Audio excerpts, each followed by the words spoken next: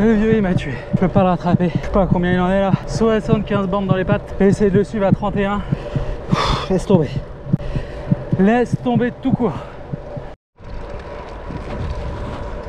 Et yo les petits Geeks, j'espère que tout roule pour vous aujourd'hui. Aujourd'hui c'est sorti solo, on s'attaque à un petit 50 km minimum. On va essayer de faire une trace à 76. Mais bon je suis tout seul, je le sens pas trop trop trop. Euh, donc on va voir où le vent nous mène quoi tout simplement. Allez c'est parti Après 22 km et 267 de D+, on se retrouve un petit peu dans la campagne, dans les hauteurs du Pilat. Enfin des images sympas à montrer. Bon, j'en profite. Je vous ai jamais parlé de cette bête réellement. Je vais essayer d'en parler un peu plus. Je roule sur deux vélos principalement. Un petit Giant en VTT, un Stance 2, pas de conneries, 29 pouces de 2022. Un petit peu upgradé parce que forcément tu connais la pénurie, blablabla. Bla bla, donc ils te mettent des pièces supérieures quand ils peuvent pas avoir leur pièce initiale. Et je roule sur ce Diverge, donc un Specialized, un Diverge Comp 5. Donc a lui de manière générale, sauf la fourche en carbone. C'est un beau vélo pour, euh, pour débuter.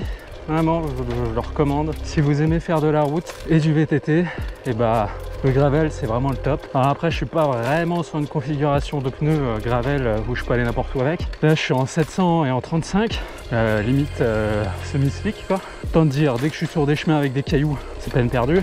Donc je fais principalement de la route avec et des petits trucs de gravillon quoi. Donc comme je disais c'est vraiment l'idéal pour, pour les débutants. Pour vous donner une idée de ce que j'appelle débutant, ça va être un FTP un petit peu comme le mien. J'ai un FTP entre 170 et 190 ça dépend des semaines. Si vous ne savez pas ce que c'est que votre FTP, ben, grosso modo, c'est votre capacité à tenir une certaine euh, puissance en watts durant 60 minutes. Donc c'est votre capacité à tenir l'effort en fait. Donc ça prend en compte que vous avez dans les cuisses et les mollets. Alors maintenant, comment faire ce petit test? Tu auras toujours la possibilité de le faire sur la route, si tu as de quoi le faire, genre avec euh, capteur de puissance sur les pédales, et vitesse et cadence. Sinon, bah, tu utilises un, un home trainer connecté. Tu as des programmes sur Swift permettre de le faire. Voilà, tout en bas on arrive de Gier, Châteauneuf. Et là je monte dans les hauteurs pour traverser et me retrouver sur Pélussin de l'autre côté. Donc euh, je crois que je vais devoir grimper un peu toutes ces montagnes qu'on voit dans le fond là. je vais en chier je pense. C'est quand même con de devoir redescendre alors que tu t'es fait chier à monter juste avant et quand tu vois tout ce qu'il y a devant toi, tu te poses la question si tu n'aurais pas pu trouver un chemin qui reste sur la crête.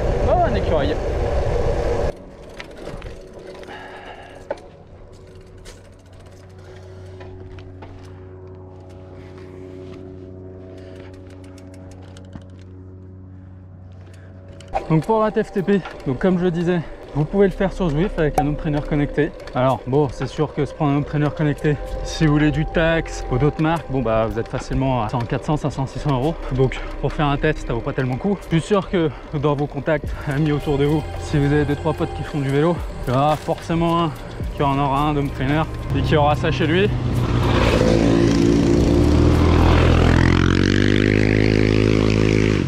Putain, mais ça, ça devrait être interdit, bordel tellement de bruit.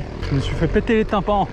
Autour de vous, je suis sûr qu'il y a au moins un pote à vous qui, qui doit en avoir un chez lui. Vous pouvez aller squatter. S'il n'utilise pas Swift, bah, c'est pas grave, de toute façon vous avez 24 km je crois par mois qui est gratuit donc pire des cas vous pouvez lancer ça. Après il y a plein d'autres applications qui le font, vous pouvez trouver un truc, je suis sûr que si de toute façon lui il a un home trainer connecté il est forcément un abonnement quelque part parce que c'est l'intérêt du truc sinon euh, autant prendre des, home trainers euh, en rouleau et basta. Donc vous faites votre petit test, ça va vous indiquer votre FTP, donc je le rappelle c'est votre capacité à tenir un effort pendant une heure et donc c'est en watts. Donc voilà en dessous de 200 je considère qu'on est débutant on va dire on n'a pas une grosse caisse, ça c'est clair. Euh, moi-même, je suis loin d'être le premier dans les côtes, au contraire. Mais je suis pas le dernier dans les descentes, donc ça, ça va. Ça, c'est un truc qu'on maîtrise un peu plus. Merci le poids, ça aide à la vitesse. Bon, la vitesse c'est une chose, après il y a la technique et il y a l'assurance aussi, mine de rien. Parce que l'assurance, mon gars, quand tu débutes, euh, tu t'accroches à ton slip, ou comme dirait David, tu fais chauffer les clochettes. je crois que j'ai fait le gros de la montée là, sur ce, sur cette sortie. Je vais avoir encore 250 à peu près de, D+, euh, à faire dans le coin, mais je crois que ça va être des petites montées. Puis avant d'arriver chez moi, j'ai 150 dans la gueule. Là, on est, on n'est pas tout à fait à la moitié, mais on n'est pas très loin. Comme je disais, je fais un 79. Donc sur le Specialized, je suis en taille 56. Donc le plateau de devant est relativement gros. Je crois qu'on est vers du 40, si je dis pas de conneries. Et à l'arrière, euh, bah à l'arrière c'est pareil. Faut que je regarde, je vous dirai ça tout plus tard. Je le rajouterai en sous-titre. Voilà, pour moi, sur la montée, j'aurais bien voulu avoir un petit plateau en plus pour faciliter la pente. Parce que dès que j'arrive sur des euh, allez, 15-18%, euh, si je suis fatigué, c'est mort, je la monte pas. Parce que ça tombe, ça tire trop sur les jambes. Quelques dents en plus euh, sur la vitesse, ça serait bien. Et pour les descendre, comme je disais, à partir de 40-42 km/h, bah, je pédale dans la semoule. Ça devient complètement inutile, tu sautilles de partout là tu te rentres dans tous les sens dès que tu pédales un peu. Donc euh, ouais, si tu as une grosse caisse, typiquement c'est pas le vélo qu'il faut. Ou alors il faut changer, euh, il faut changer tes plateaux et tes vitesses pour prendre quelque chose de plus adapté à, tes mollets. Mais bon, pour du débutant, c'est pas mal. C'est un vélo qui est à partir de 2007-2008 si je dis pas de bêtises. En neuf, hein, bien entendu. En occasion, bah, vous avez touché le moins cher.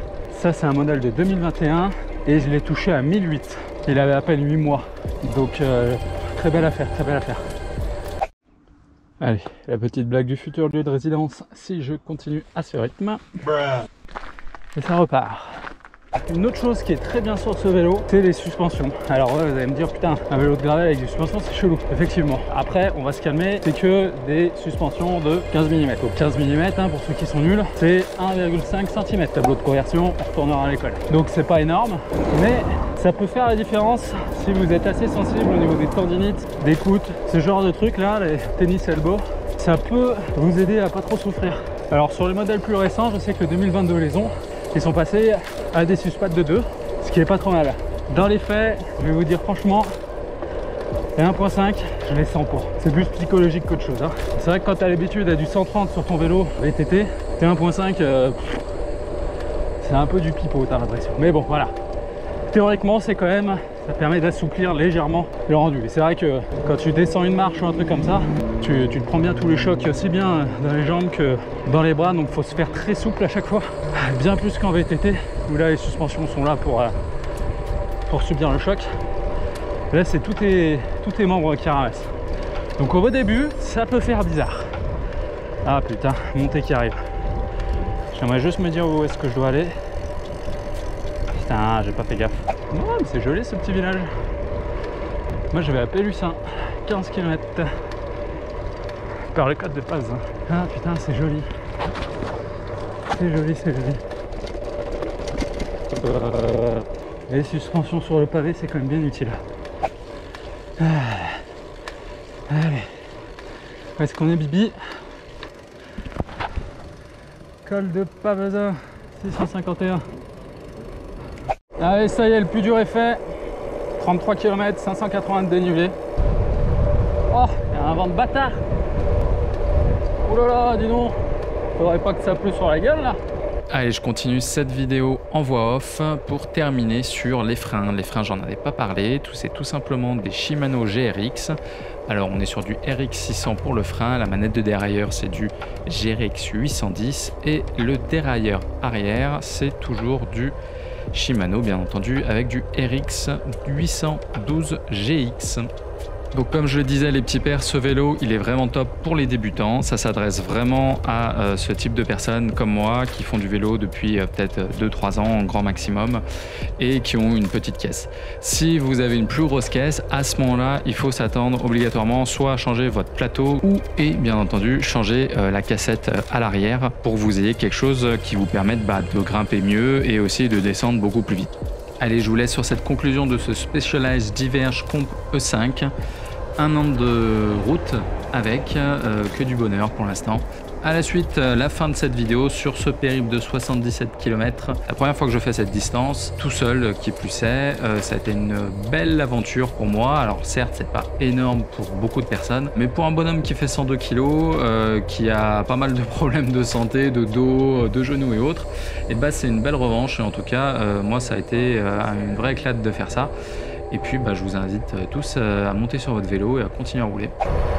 46, ça va, je suis dans la limite. C'est ma femme qui va pas être contente quand elle va voir la vitesse affichée. Euh, je suis pas encore serein à prendre des, virages à 60 ah, par contre lui il était bien serein avec le classement. Ah putain, bah je suis déjà tout en bas. Merde. On est au Rhône. Je pensais que j'avais encore un petit peu de descente. Un monument. Edmond Scholl, 23 ans au service commandé, fut arrêté par les nazis, fusillé le 25 août 1944 à Lyon. Son corps est jeté dans le Rhône.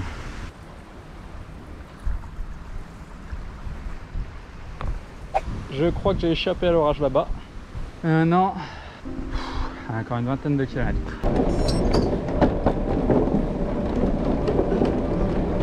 C'est chiant la Vallarona, putain. Quand t'es dans le Pilac, t'arrives et que tu descends là, c'est des longueurs à côté de la route et du fleuve. C'est juste chiant.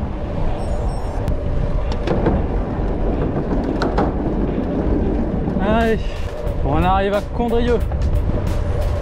Ah J'ai un de ces mal de fion. Là, je te cache pas, bientôt 58 km, je commence à fatiguer. Ça commence à être un petit peu difficile psychologiquement, là, j'ai un coup de mou.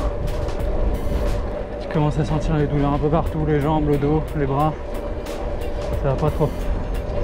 Surtout que c'est dans des endroits que je connais pas du tout. Donc, euh, quand tu connais pas le terrain, t'arrives pas forcément à te repérer. Où est-ce que t'en es, si t'as bientôt fini. Donc psychologiquement, c'est pas évident. Quand j'arriverai sur du terrain déjà conquis, ça devrait mieux se passer quand même. En même temps, là, j'ai eu 2-3 km avec euh, plein de racines euh, sous le goudron là, donc ça passait sur toi à sauter dans tous les sens, c'était bien chiant.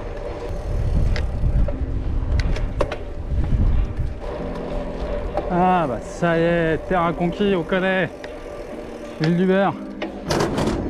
Ah putain. Ah, fait du bien. Ça y est, on sait qu'on est bientôt à la maison. Encore 20 km presque, mais on sait qu'on n'est pas très loin. Psychologiquement, c'est mieux. Allez, 61 km. Le record est battu. Ce genre de distance tout seul, c'est pas évident. Putain, j'ai plus de musique. Le truc, il, il a fait faillite. Crois que la transpi a eu raison de ce machin. Ceux qui écoutent de la musique et qui transpirent énormément, si vous avez un bon produit à me recommander, je vous attends dans les commentaires. Oh putain, mort. Ça c'est le vélo à... après 67 km. Et ça c'est ma gueule après 67 km. Putain c'est chaud patate. Putain c'est dommage j'ai pas filmé. J'ai un VTTE qui m'a doublé à pleine balle. C'était du mal. Et j'ai pu le suivre, prendre son aspi. Oh ça m'a fait un bien fou. Je m'en étais jamais rendu compte avant. Mais là avec l'état de fatigue, le moindre changement d'effort se ressent. C'était agréable. Il reste grosso modo 6-7 bords. Papy là en face, là, il a mis la seconde. J'aurais souhaité être juste derrière lui pour lui prendre son esprit un peu. Il n'a pas l'air de vouloir se laisser faire. On va voir. Allez, c'est le rattraper vite fait. Je suis déjà à 28, je le rattrape à peine. Allez mon geeks.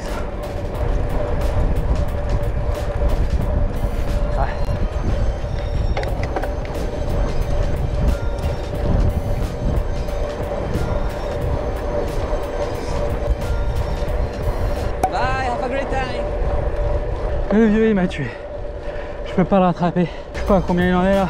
Et là 75. 75 bandes dans les pattes. Et de le suivre à 31. Laisse tomber. Laisse tomber tout court. J'ai ma femme qui vient de passer à côté de moi en voiture qui m'a proposé de monter. Dans un moment de faiblesse, elle m'a vu que j'étais en train de pousser sur 100 mètres là. Ah non, je la finirai, que ce soit à pied sur vélo.